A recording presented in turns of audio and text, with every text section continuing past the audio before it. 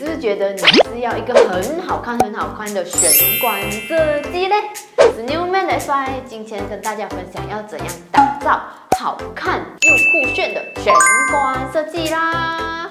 OK，第一，首先你的玄关柜中间，你可以做一个开放的格的那个设计，就是 open concept 的设计啦，可以放口罩，也可以放收纳盒和装饰。然后接下来你还可以收纳一些手表啊，还是你的那个电水表啊之类的。同时呢，你也是可以安装插座给旁边的感应灯。晚上回家的时候呢，你就不怕要摸黑找你的那一个玄关在哪里啦。然后在最下面最下面那边，你可以做悬空的设计，就像这个样子。然后你就可以放你的日常穿的鞋子咯，就可能是你的室内拖鞋这样子。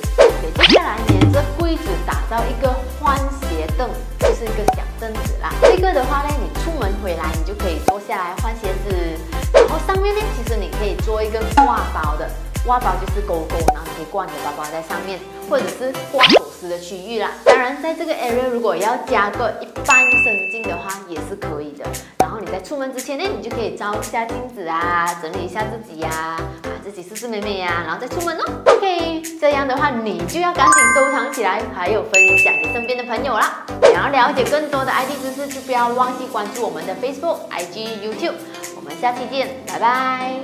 不用怕摸黑找你的玄关哦。OK，只是一个鞋柜而已，还是你的那个电。